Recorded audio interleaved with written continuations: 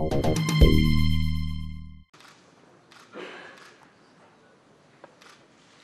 résultats du scrutin sont, ont obtenu Madame Garcia 15 voix, Monsieur Sarkozy 30 voix.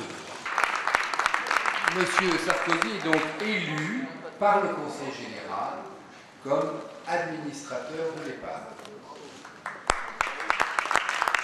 Ça n'est jamais une erreur, une mauvaise stratégie que d'être candidat à une élection. C'est jamais une faute que de vouloir s'engager. Non, je n'ai pas de regrets euh, parce que euh, je regrette pas d'avoir euh, des idées pour la défense. Je regrette pas d'aller au combat. Je regrette pas de me battre. Je regrette pas d'avoir des convictions. La polémique qu'il a fallu traverser et assumer, ce, n'est jamais une chose forcément agréable, mais enfin c'est comme ça, c'est le jeu politique, et puis il faut en être conscient, ne pas s'en plaindre.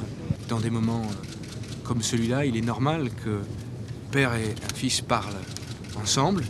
Euh, il m'a dit c'est ta décision, c'est ta responsabilité, c'est ta vie. Euh, il m'a dit, au moment où je lui ai dit prends le, temps de, peser cette décision, je l'ai fait pour la lui confirmer, pour dire qu'elle était irrévocable.